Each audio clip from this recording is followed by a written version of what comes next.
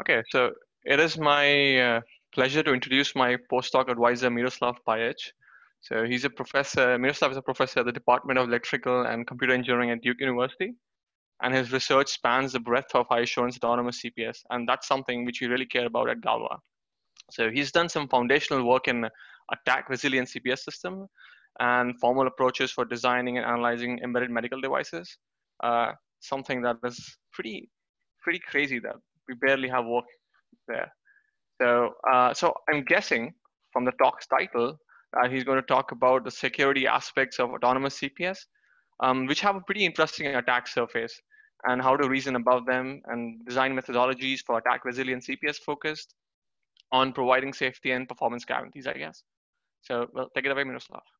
Perfect. It's a, it's a real pleasure to virtual be here. Hopefully next time I, I can visit you guys. Um, yes, this time I will not talk about, about our medical work. Um, we do a lot on, on, on that domain as well, high assurance medical uh, software design. For example, now we are just gonna start um, clinical trials of, of uh, closed loop uh, deep brain stimulation.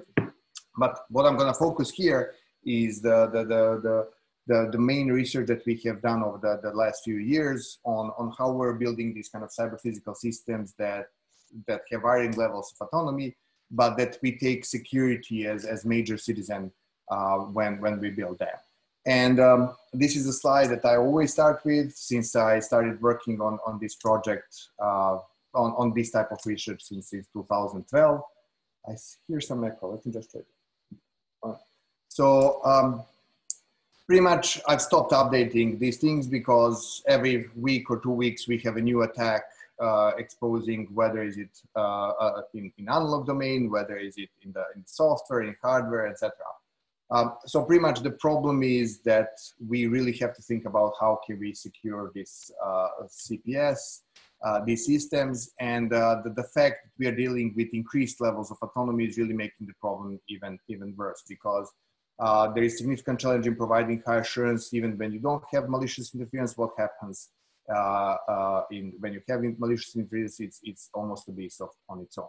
So uh, I will not talk about. I am fully aware that that that you guys are, are uh, know a lot about different attack surfaces, etc. What I'm just going to focus on on uh, if we look at abstracting attacks on, on control and autonomy components in CPS, um, uh, how they affect the impact of, the, of, of these types of, of services. So 30,000 feet view of the problem is you can look at sensing attacks, actuation attacks, attacks on the communication between components, and attacks on the, on the controller itself. And um, in a lot of these cases, um, these types of attacks can be modeled as malicious interference signals uh, that have certain properties that are introduced uh, uh, into the, the, the, overall closed loop, into this kind of uh, feedback loop. and as a result, we have to introduce defenses against them as a part of the overall system design. Another thing is if you have types of attacks that, uh, that affect impact resources of some of these uh, components. For example, if you're able to, to exploit, let's say, the, the, the hardware model that you have and, and you are uh, vulnerabilities and you are able to, to, to install malware that will take over some of the, the computational time and you reduce computation from 20 uh, hertz to 5 hertz or 2 hertz of your controller that kind of impact is, is, is harder to directly capture as, as these malicious interference signals. So in order to do that, we actually have to look at how these types of, of systems are built. And effectively, if we look at control and autonomy stack, we pretty much let's look at autonomous vehicles, but whether is it UAVs or, or, or, or cars or underwater vehicles that you guys use in, in assured autonomy, pretty much you have this kind of low level controller, uh, tactical planner, short horizon views, and, and uh, mission planner, which is long horizon view. And in these different layers of, of, of autonomy, you are looking at different types of, of, of control problems and the analysis that you need to, to have.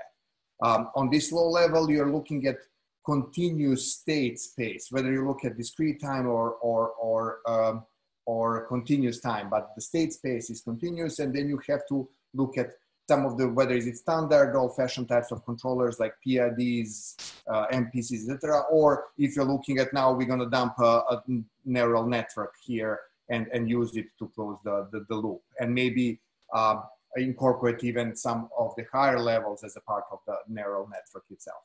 Then the next one is you have this kind of basic switching between these different types of, of controllers and you're looking at some kind of automata based analysis. And finally, you have the, the high level planning that you would have if you want to go from point A to point B. Uh, you are building on top of some kind of probabilistic stochastic models, like whether we talk about Markov decision processes or partially observable Markov decision processes, MDPs and POMDPs. And as a result, we have these different types of formalisms that, that capture behavior of the system and, uh, and the behavior of the, of, the, of the physical component of it. As a result, if you want to add resiliency across all these different levels of, of control and autonomy stack, we really have to add resiliency between each of in, in each of these designs, but in way to ensure that it is easy to understand how decisions and guarantees on one layer impact the, the, the, the layer uh, below. Um, another thing that we also have to think about is how can we integrate these kind of components uh, on uh, in a platform aware manner. Why? Because in some sense, we will really end up, uh, we, let's say that we're looking at DoD systems or, or even modern uh, vehicles uh, that are consumer-based systems you have very long lifetime of these devices. So even if you're able to run a lot of things at a particular point of time as the, the, the, the, lifetime of these devices expand, you will at some point come to the, the, the resource constraint setup. Um, in some instances, you already are there. So how can we build these systems in a way that, that we can provide this quantitative trade-off between, between the security guarantees um, that certain services and certain modules uh, provide and the available architecture that, that we can have here. So what I'm going to do in the, in the rest of the talk, I'm going to talk about uh, how we can add resiliency at these different layers of, of autonomy, um, um, starting from the low level up to the, the high level and different types of modeling and analysis techniques and tools that we have developed as a part of the process. So my work started uh, on this topic as a part of the DARPA HACMS project. Galois was a huge part of, of this. Unfortunately, we were in ground team, you guys were in, in aerial team, so uh, we did not work as, as, as close as uh, we, we should have maybe. Uh, but in, um, in, as a part of our design, what we did then, we, uh, my focus was on designing these kind of attack resilient controllers. And uh, on the ground vehicle that, that DARPA provided, this Landshark, we implemented resilient uh, um, point-to-point uh, controller with, with adaptive cruise control, while on a 2013 model of an American-built car, we again built uh, a state estimator. We were not allowed actually to perform control there. But we showed how, if you start with from a clean slate architecture, how we can build these kind of resilient control components that can provide us with high level of assurance uh, and, and strong, very strong performance guarantees in the presence of attack. However, these types of guarantees only hold if you have, let's say, uh, P out of Q sensors that are under attack in this particular setup. So for example, we have this cruise controller and yes, you can adapt uh, attack odometry sensors that are sending uh, data over over the bus uh, uh, odometry measurements to the, the, the, the, controller, but you still have GPS, you still have the, the, the current that the engine is using, and from those you can extract the estimate of the, of the system state. So what we learned as a part of the, the HACMS project is that you cannot solve everything, everything with only on the algorithmic level. You cannot design controller and a learning and control algorithms that provide you with high level of resiliency uh, in, uh, in, in, in all of the setups, in all of the attack models that, that have, been, have been seen so far. Why? Well, let's look at a very simple, the lowest level control model. So we look at, for example, whether we look at the legacy system that was the main focus of our efforts as a part of R&R RHIMES uh, project that, that we were on or, or whether we are looking at, at the architecture that we developed as a part of the, the, the project. Pretty much as a result of the attack, let's say network-based attack, the, the attacker can push the system um, wherever he or she wants without triggering, without uh, potentially uh, triggering the attack. That's the worst case uh, alarm. That is the worst case attack that can, can happen. So a stealthy attack that does not trigger intrusion detector while pushing the system uh, wherever the attacker wants. So in this particular setup, when we have network-based attacks, it does not make sense to assume that we'll have three out of 10 sensors that are not under attack. If the, the, the, the, the attacker has full access on the, on the bus and can launch, for example, man in the middle attacks, you do not have any kind of, of guarantees. So one of the fundamental results that we were able to, to have, uh, even if we look at uh, very uh, nonlinear systems, was that if you build this kind of physics model-based detectors uh, and you corrupt enough sensors, they cannot protect us from intelligent attackers. So the attacker will be able to push us wherever he or she wants without trig even triggering the, these kind of physics-based alarms. So now it's cool. Let's look at everything. Can learning help? Can we use uh, um, um, uh, large data sets and build these intrusion detections in a, in, a, in, a, in a smarter way? And pretty much there is no help with certain types of, of attacks. If you compromise enough enough resources, if you compromise enough sensors, you can really you can really build um, you can really build these kind of attacks that that that are that stay undetected. And and uh, again, we were able to have analytic solutions for simpler systems. Uh, for very complex systems, our recent approach uses adversarial learning. And for example, for lane keeping controller, we are able to insert attacks that steer the, the vehicle off road while uh, remaining stealthy. So pretty much if we look at the problem that we previously uh, considered where we have this kind of network-based attacks, if the attacker is able to, to send malicious packets over the, the, the network, he or she is able to, to, to take over the system to push it uh, wherever, wherever uh, he wants. And as a result, we will end up with, with unsafe behavior. So one solution to do this is to say, okay, let's, if we are worrying about communication-based uh, attacks, like network-based attacks, can we authenticate? Can we protect all of these messages? So the thing that, uh, as a part of the of the Intel and NSF Center on, on, on CPS security and privacy, we were focused on, on automotive applications. And what happens, for example, we look at, at, at CAN, and what happens here is that CAN is already overutilized. So, and you are running these kind of uh, processes in a very periodic manner, and you really have to ensure that all of the packages are arriving at the time when, when they need to be consumed. So if all of a sudden you start extending 16-bit messages by adding additional header to add this uh, message authentication codes, all of a sudden the, the, the previously uh, schedulable system you have the messages become larger and all of a sudden you will get timing uh, constraints that are violated. However, what can happen in this particular setup is that we can see that we can occasionally authenticate, protect some of the messages. So there is no way that we can protect every message all the time, but we can protect some messages, some messages, some in some time instances. Um, and so from the schedulability, from the research perspective, that seems to be enough. But the question is, does that provide us with this high level quality of, of control uh, uh, Uh, uh, guarantees that we can have in this particular setup? So we started asking ourselves, does intermittent use of, of authentication help?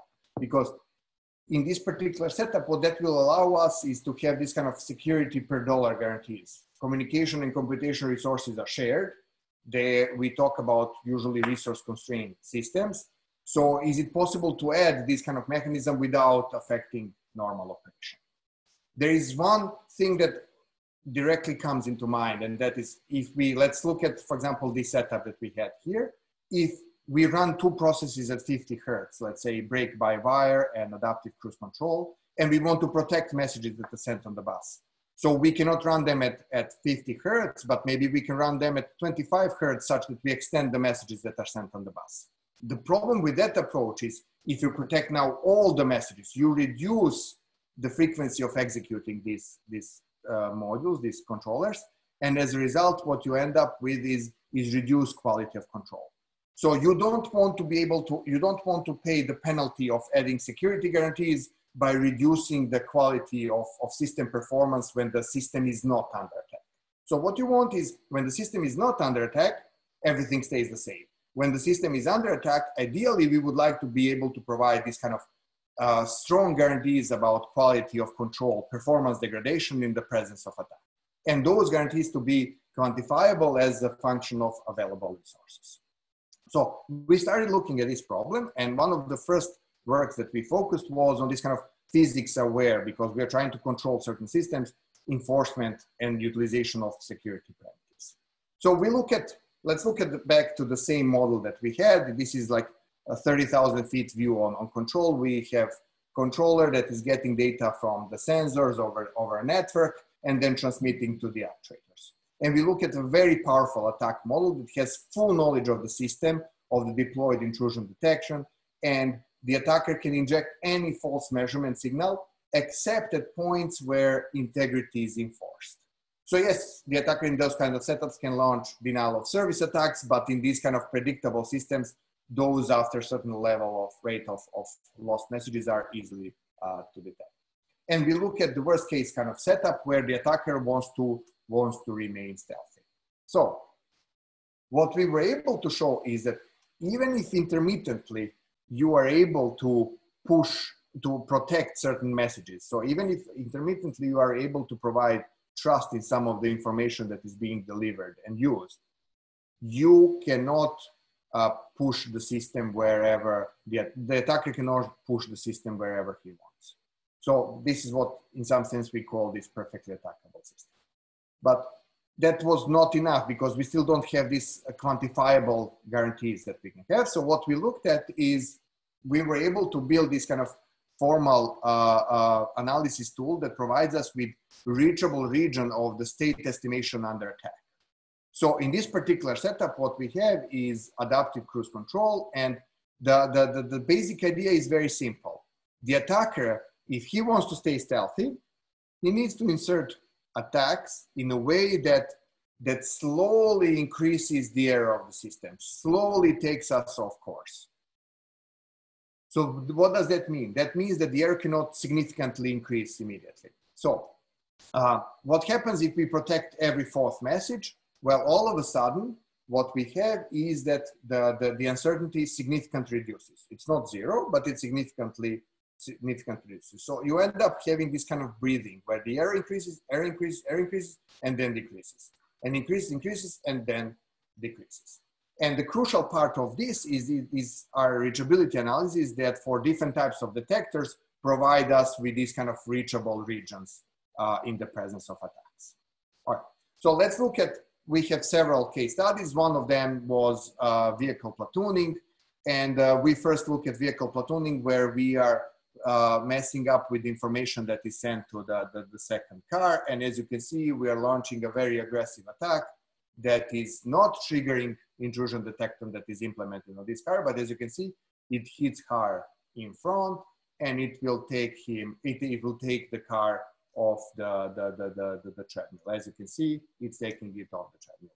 The moment we turn off the attack, everything goes back to where it's supposed to. If we really have way more time to, to do this kind of attack, we can even be uh, more aggressive, less aggressive. And then you can see here, it's really, really slowly how this changes, how this attack, the car is is thinking that it's maintaining its position, but it's actually getting closer to the vehicle in front. And in two minutes, it will hit the vehicle and take it off, off the, the, the track.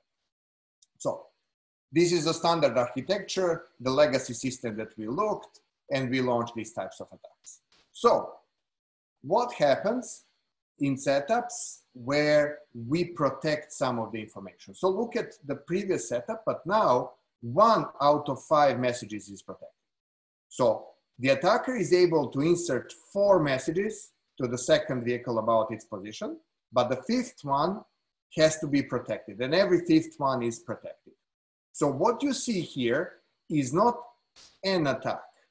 This is the worst case attack that can happen based on the reachability analysis that we had. So this is the worst case stealthy attack.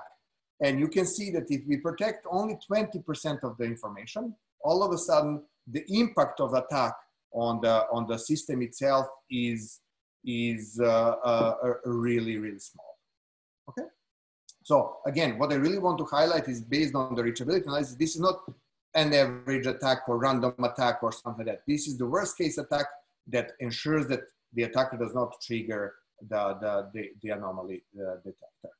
On the other hand, uh, what happens if we what happens if we if we protect every 20th information if 5% of the packets are authenticated. What you end up here this is what happens now. So so 19 out of 20 packets can be whatever. And here again we are looking at the worst case attack.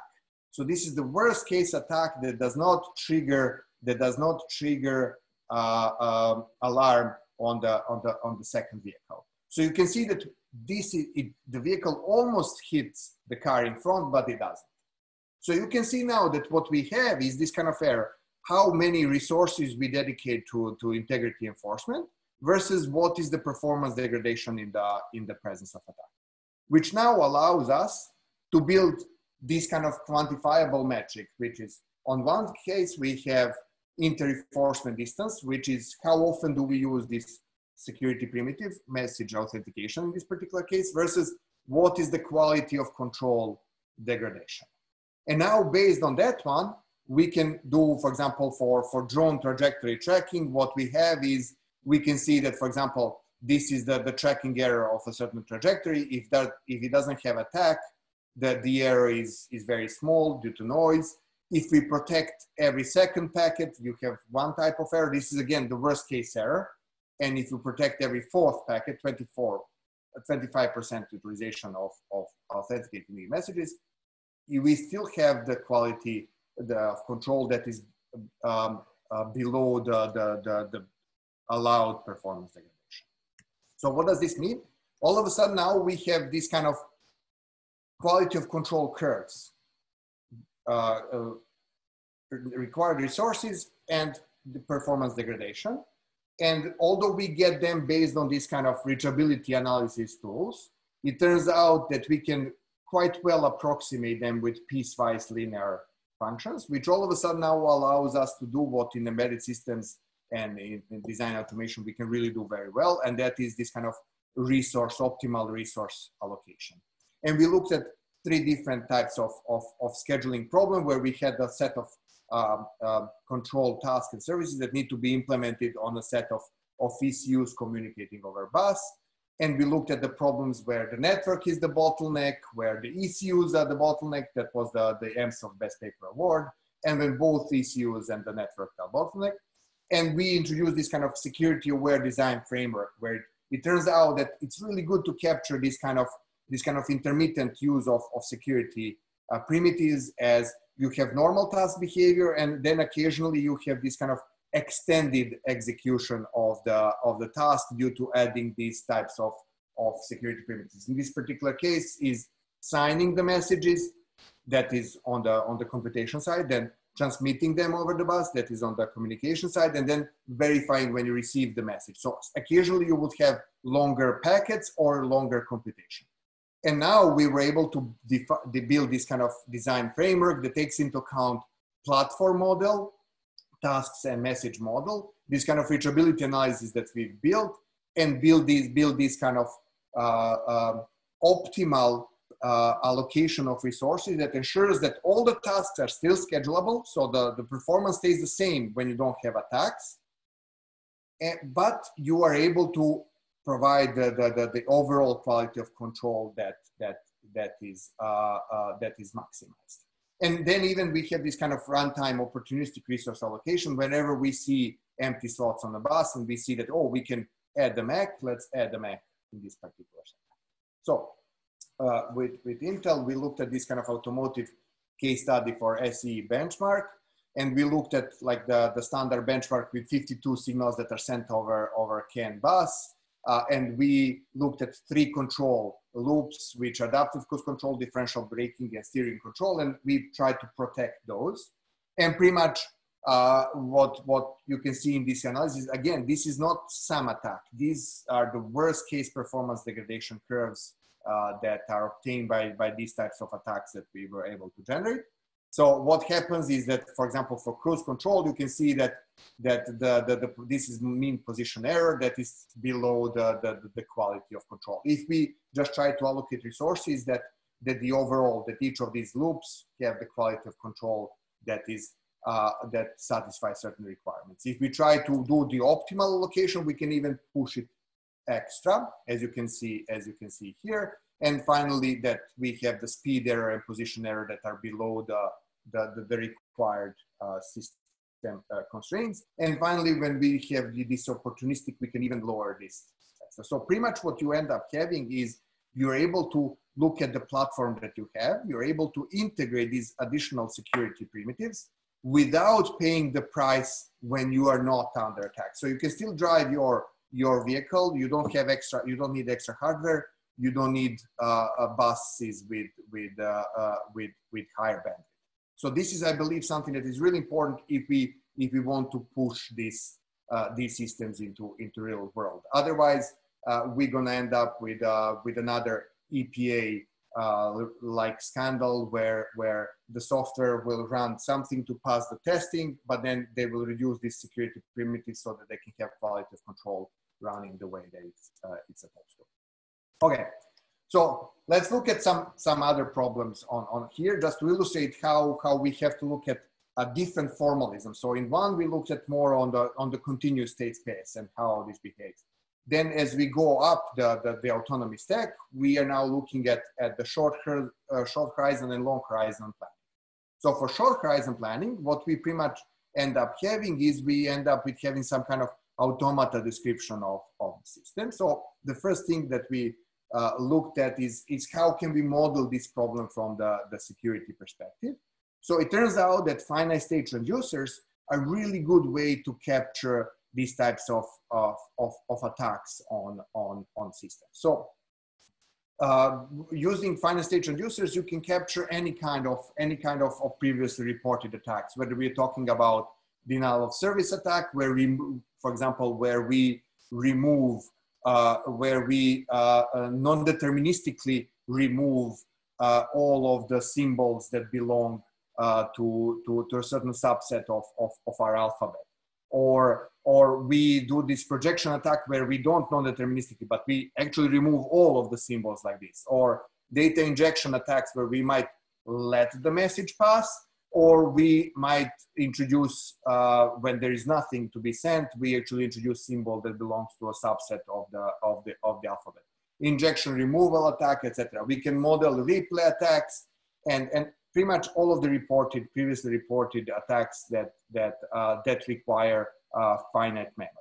So the great things about uh, uh, finite state transducers is that now we can use the, the, the mathematical uh, operators for, for serial composition and for parallel composition. And now we can incorporate more powerful attackers that are a combination of, of, of some of these. And as a result, we can then build attack resiliency as as controllability under attack. So for example, how can we build these kind of supervisors that under certain attack models are still able to ensure that the symbols delivered to the plant belong to a certain language. And we were able to derive both the conditions under which those attackers can be derived, as well as, as how to, to, to derive. What we are currently doing at, at this point is what is deriving these kind of, using these types of results for design of, of, of shields that will be, that will pretty much filter out uh, uh, by making, uh, like ensuring that we have safe execution of the, of the, of the commands that are sent out of the system under uh, known and unknown attack models and also trying to do this kind of minimal symbol revision uh, such that we can still perform safety while not modifying significantly the, uh, while not modifying uh, significantly the, the commands that are sent out. So pretty much these were all the results that were focused on the on providing uh, safety in the presence of attack, providing some kind of uh, control guarantees in the in the presence of attack. Another line of work that we looked at is, is how can we synthesize these kind of modules that can uh, provide some kind of uh, opacity or privacy in the presence of attack. And it turns out that, that um, it turns out that these types of, of properties can really be captured well as, as hyper properties. So as a result, you can use the, the, the, the, the existing tools for, for design of, of uh, uh, controllers that satisfy uh, hyper properties. So for example, we've developed one tool uh, that will allow, that can be used for, for, for motion planning. And uh, the, the, the, the, problem is now to capture this kind of uh, privacy aware motion planning as a suitable hyper property. Um, and of course, we used it for other non-security related uh, uh, properties like uh, optimality of synthesis, synthesis plans or robustness. But pretty much what we do is we use HyperLTL uh, as a way to specify these types of, uh, uh, of, of, properties. Um, and um, I will not go much about HyperLTL. It's, it's a, it's a well-defined and well-known hyper language to, to capture this kind of linear temporal hyper properties. And then we, uh, for example, capture the properties of initial state opacity as we want to find two paths such that their observations are the same, although they don't start from the same. Uh, uh, so we want to find two paths, meaning two controllers, such that that the observations along those paths are the same, although they start from uh, from a different initial state. Or current state opacity, we want to find uh, two uh, two paths such that both reach goal, but sorry, that, that R reaches goal, but uh, the other one uh, and, and, and, and ours have the same observations along the, along the, the, the, path. So we were able to design a tool for uh, symbolic, symbolic synthesis from hyper LTL by restricting ourselves to, to finite horizon uh, hyper LTL properties. we find a way to compute the required horizon over which uh, we will uh, we will look at the, the, properties and then and then we convert the the the, the, the hyper LTL properties into uh, into um, into a suitable into suitable first order formula that then can be easily solved with uh, with an SMT solver. Like in our particular case, it it was uh, it was Z3. So, for example, uh, the, the, the code and the tool is available on on our Git. And for example, in this particular one, provides the, the, the current state opacity and initial state opacity um, uh, controller. So pretty much we capture that uh, the, the, the, y coordinate is giving the level, the level of y coordinate is giving the observation. So then how to do paths such that the attacker does not know whether you are going this way or maybe you went this way so that we ensure that we guarantee the, the, the initial state opacity or the current state, uh, current state so for example, this is one of the of the of the things that that we've done in this domain. But again, the the, the moral the, of, of this part is that the, the message is that if you're looking at these particular properties, then you really have to to think about uh, using uh, standard uh, automata and, and language-based tools uh, that have been widely used uh, uh, for for quite some time.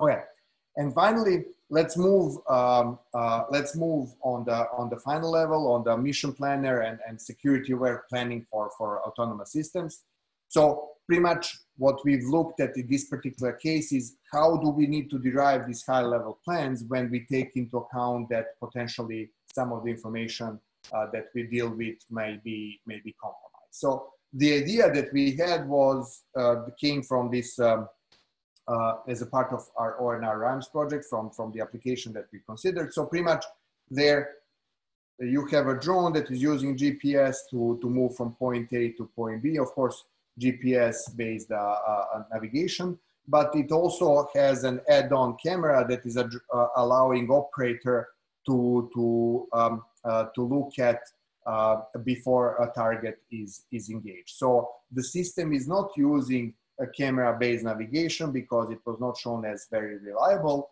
Uh, but our idea was, okay, can we occasionally use camera uh, to way to geoposition the drone if potentially it is under attack? And uh, how can we do it in a way that ensures that we have this kind of optimal trade-off between the performance degradation and the security, security guarantees. So we started looking at that particular problem, how to plan a path for a drone that maybe goes over certain, over certain, like in this map, over, over certain landmarks that will allow the camera to easily geoposition uh, without using uh, GPS coordinates. So to do that, I mean, we start from standard models. These are MDP models or POMDP models from, from UAV and uh, an advisory system. And of course, we now have to add the, the advisory model. So uh, adversary model. So pretty much what happens is, is that if the UAV model says go north, the adversary uh, has to constrain himself by saying, okay, you can go north, east, or west. So the, the, the errors that can be introduced cannot be significantly high so that the lower levels of control do not detect these types of attacks. So when you have these types of system, it's, a, it's in some sense, you would say it's an MDP. Um, we can use, let's say, whatever is your favorite tool for, for synthesis. Let's use Prism, for example. The only problem with that one is that our camera, our advisory system model, whether it will be able to geoposition when it turns on the camera depends on what it thinks the true the belief value of where the UAV is and the true value of where the UAV is.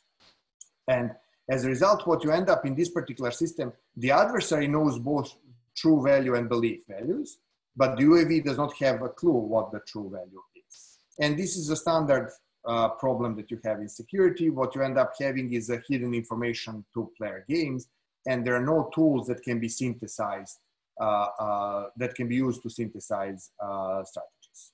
So what we did in this particular setup is, is the following. We looked at if we, let's say that we ensure that once every 20 minutes or 10 minutes, we will use the camera to geoposition itself.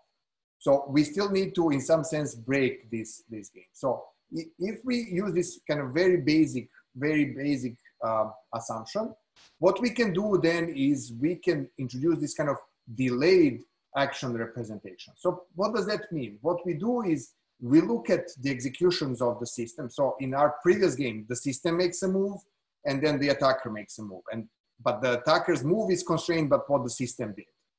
Then again, the system makes a move and then attacker makes a move, again constrained by what the system. did. So what we now do is the following thing. We just reorder the execution of this.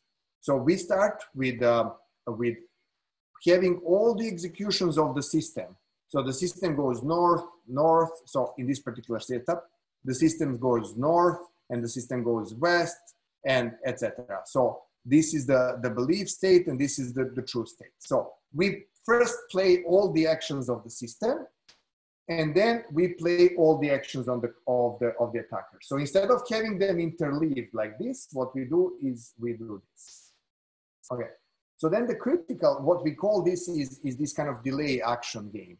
And what is critical here was for us to be able to show that we have this kind of, uh, that we can, uh, uh, that we can use uh, delayed action game for synthesis was to show that when we restrict ourselves to these types of, of, of, of execution that uh, on a subset of execution that are actually relevant to initial system, we have the, the simulation relation between these, between these two, uh, between these two games from the perspective of the system. But there is this crucial assumption that, I mean, we have to make a finite memory of the, of the actions of the system.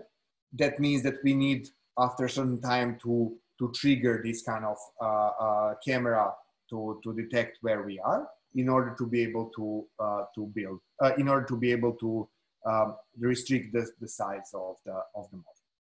So what we then did is by, after showing this in, in our CAV paper in, in uh, last year, we, we show how we can automatically starting from, from, uh, from these classical models, uh, how can we build this delayed action game and then how can we uh, uh, by also add these additional memory components, use that to synthesize strategies, and then based on these synthesized strategies, check what is, for example, the maximum probability of, of, um, of uh, reaching a goal while staying, uh, uh, while staying, while not being, um, while not reaching the, the, the, danger zone in, in this particular setup that we, that we consider. So in this setup, what we had was we have full knowledge of the of the system model, and that's why we were able to use model checking, and that's why we we were able to use uh, uh, Prism after some some some tweaking with uh, with. So now we we started saying, okay, what happens if we if we cannot do that? What if we don't know exactly the model of the system? Um, not only probabilities, but we don't fully know even the, the, the, the, underlying topology of the model, which states are connected to which states, etc. So in order to, to, to look at this problem, what we, we've started with our, our recent results on, on model-free control synthesis from LTLs, and we show how, how we can use limit deterministic Büchi automata to map LTL properties, and then, then we combine them with MDPs and based on that, we are able to do this kind of model-free learning that maximizes these controllers. So we then extended these results. This is a paper that uh, that we submitted yesterday to um, to uh, AI uh, that we solve this kind of problem for. So we cannot do this for uh, for general LTLs, but what we are able to do is for uh, for Rabin games, of course, in Büchi as a subset of there with a, with a single Rabin pair, and we are able to find we are able to find uh, uh, we are able to find strategies that maximize probability of of reaching the sorry that that maximize uh, minimal probability of of reaching the the goal. So this is still where we don't have a stealthy attacker. Now at this process we are to extending combining these two work, works and and in order to be able to to provide these kind of uh, stronger stronger guarantees. So previously, as I said, we we mostly focus by by covering these these three different layers. We focused on on how can we build resiliency of uh, uh, how can we improve resiliency of these control algorithms and autonomy algorithms at different levels of of, uh, uh, of, of, of, of this abstraction. And we looked at different architectures, whether they are more traditional controllers, uh, more traditional intrusion detectors like chi-square or SPRT or etc. Or we looked at uh, more modern like data-based intrusion detectors.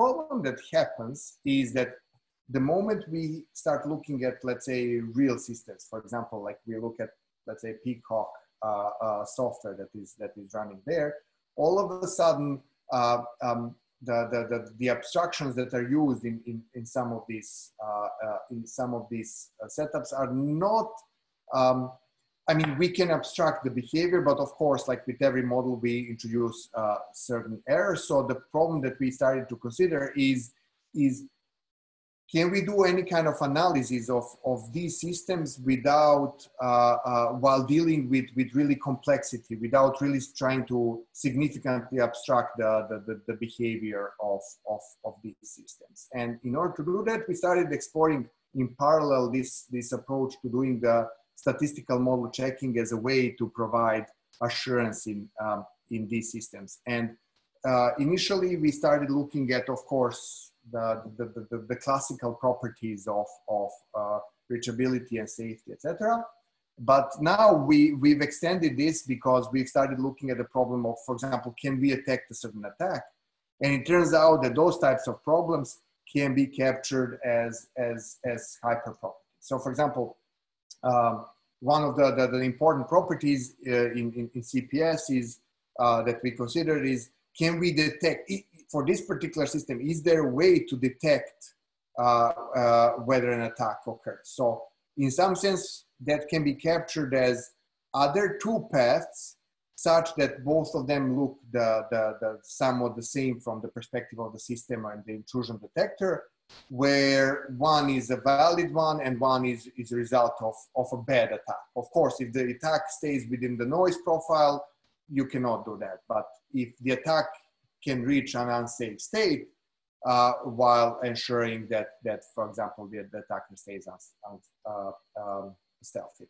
So to do that, we have to pretty much look at, at the, the uh, relationship between, uh, between multiple, multiple paths, and these effectively are, are hyper properties. So what we then did is we started from, from our other work that was not security related as much, that was looking at, for example, providing assurance of the systems where you have uh, modeling errors.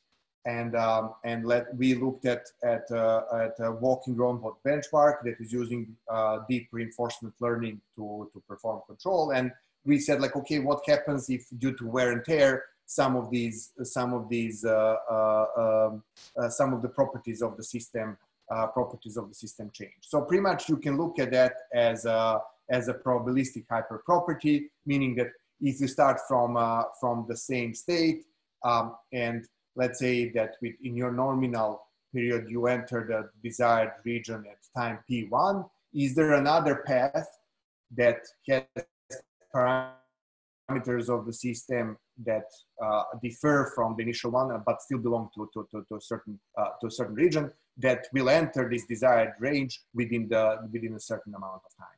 So for example, that is a probabilistic sensitivity property and, and we were able to derive uh, um, for these kind of uh, um, uh, uh, systems that we are also interested in, in, in continuous state space representation, we are able to build this kind of analysis.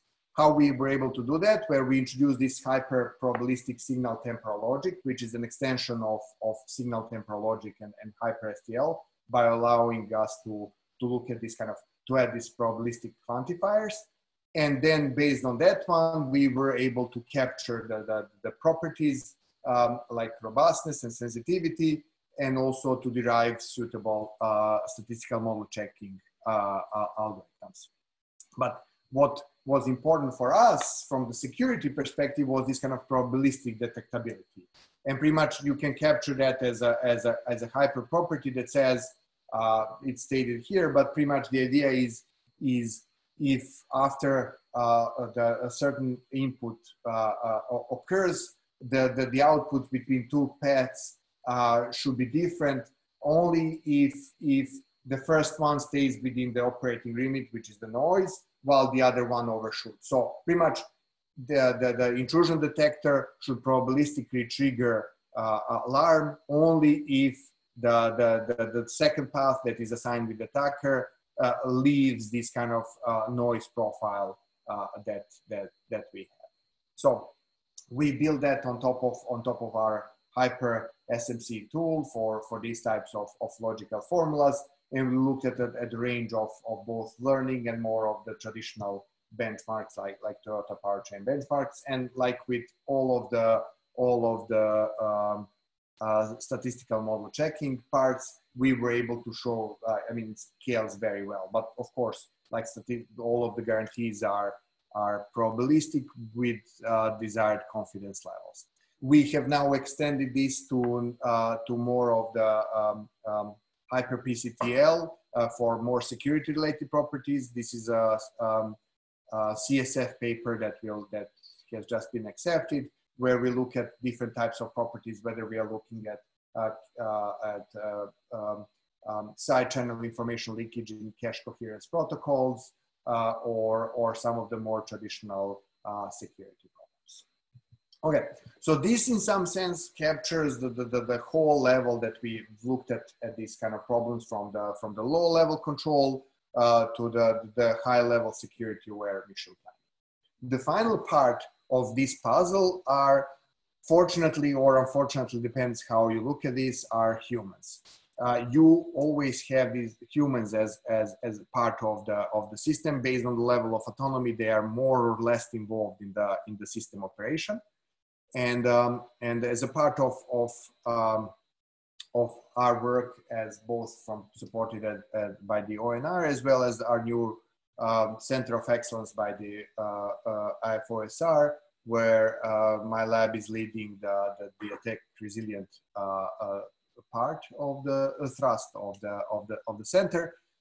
we also started looking at this problem on, on, on the human impact.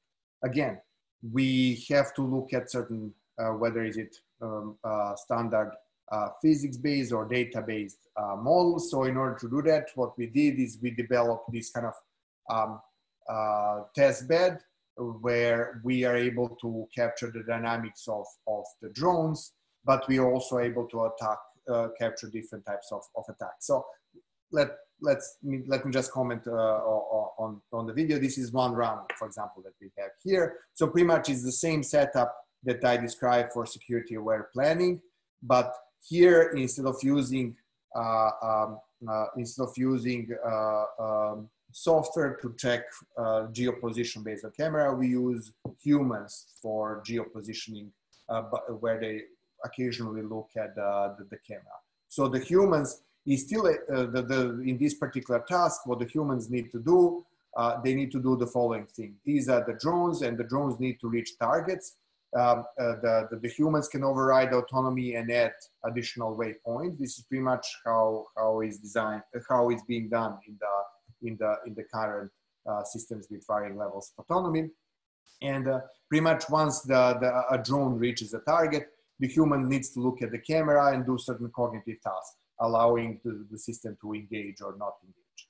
So what happens here is that this information that is presented here is actually the information that's being delivered to the system. And this can be what the system thinks where, for example, if it's under GPS spoofing, where it is. But the camera, we assume, is not under attack as in the system that we've considered. And uh, the, the feed is being, uh, is being provided to the, to the operator in, in real time. So what we started looking at here was two different problems. The first one is, is can the user help? For example, if, if the system occasionally does not have, uh, is not very confident it's not under attack, it might ask the user to, uh, to, to, to help geoposition and maybe provide, increase the confidence that it's not under attack. And the other thing is maybe if we provide this kind of information, can we can we mess up with uh, with uh, with the user with the operator such that that that he or, or, or she does not perform the task that they're perform potentially avoid uh, uh, causing more confusion and uh, and uh, and affecting performance of the overall system. So to do that we were able to to run human experiments on on on on um, human subjects looking at low workload and high workload missions and we built and we uh, and we built um, uh, uh, operator behavior model in this kind of uh, human supervisory control, which then allowed us to to reason when is the best way to to, to, to, to launch certain tags so that we can confuse the user and also when is the best way uh, best time to to ask the user potentially to look at the camera but also uh, but also how to do this by combining with, with our previous uh, care work, how to do this in a way that we incorporate that in the, in the path planning, such that we organize the paths to the, from, from, to the target in a way that, that it can increase our quality, uh, uh the, the, the, the, user feedback that we get in, um, in, uh, in, in real time. It turns out, of course, like with all human uh, human experiments when we run this on, on humans it turns out so we used again prism to generate we built these models based on experiments we used prism and and learning to to synthesize these paths. We then evaluated on on humans and it turns out that um, there is one class where it works very well and there is one uh, there is a larger part where it doesn't work very well. And it turns out that gamers work very well, but in some sense, gamers are people who are more closer to these domain experts.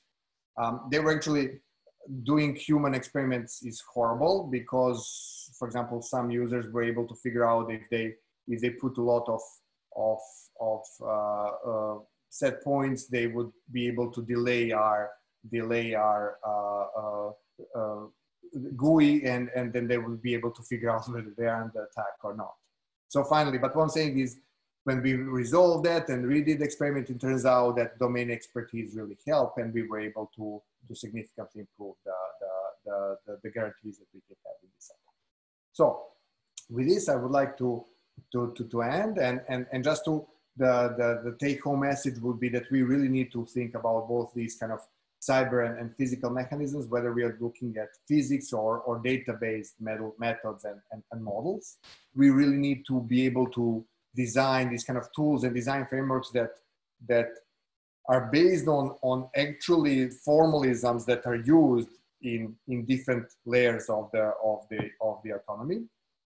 Um, in a lot of setups, the complexity prevents us from directly using some of the, the, the, the systems, some of the, the formal uh, methods, uh, tools. So then potentially combination of those and, and like what we did in, in some of our work, statistical model checking can help, especially when we move toward probabilistic reasoning, which is something that we have to do when we are dealing with, with this kind of very uncertain environments, when we do this kind of high level planning, and especially when we do this uh, learning as a, as a part of the overall system. And finally, we have to think about uh, platform aware integration. How can we do this? it was awesome being on, on HACMS because in some sense we were not thinking as much about resources. The, we had a clean slate architecture.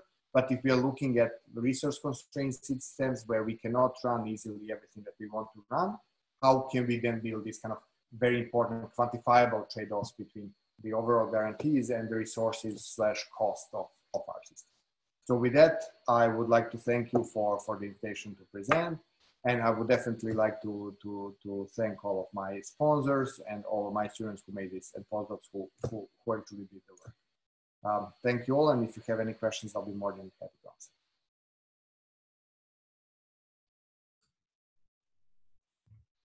Tristan, did you want to ask yours about the analog?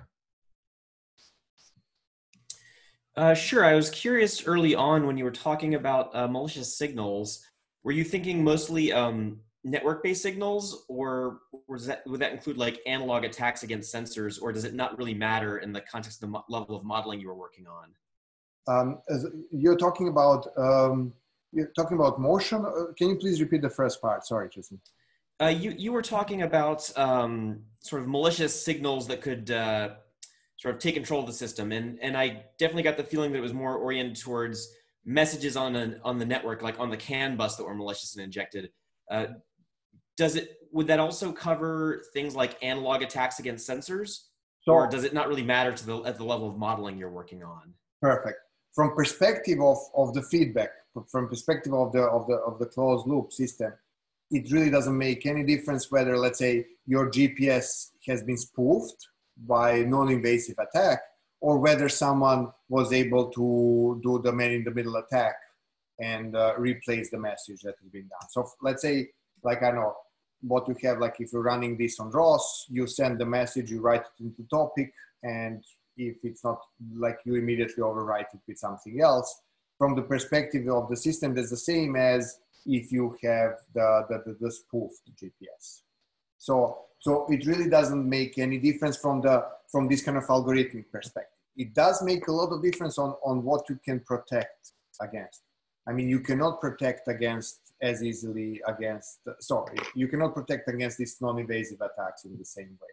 Um, there are ways of, and, and we did that as, as, well. There are others that have done in the sense of doing this kind of active, meaning, for example, imagine that you shake your GPS and then you, as you move, you start to see that you have the change in the phase if you have the three-dimensional, uh, which is not the case if you do spoofing from the from the from the planet, from the Earth.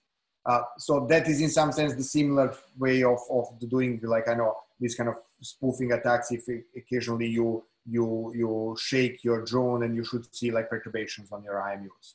So those kind of things are instead of like you are inserting, you're doing control such that you are inserting using these kind of sensors to insert, I don't want to say signatures, watermarks or whatever, but you are doing these kind of things to, to insert something so that you can check whether your sensors are behaving the way they are supposed to. Uh, but against these attacks, you cannot protect in the standard cyber, whatever is the crypto uh, uh, mechanism that you want to use.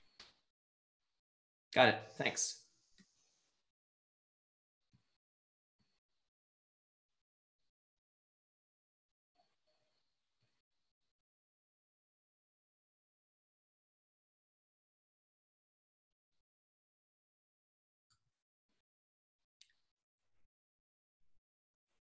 Well, if that's it, I will uh, stop the recording and um,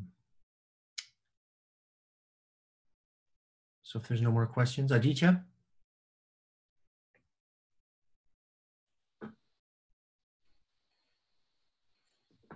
Okay. Um,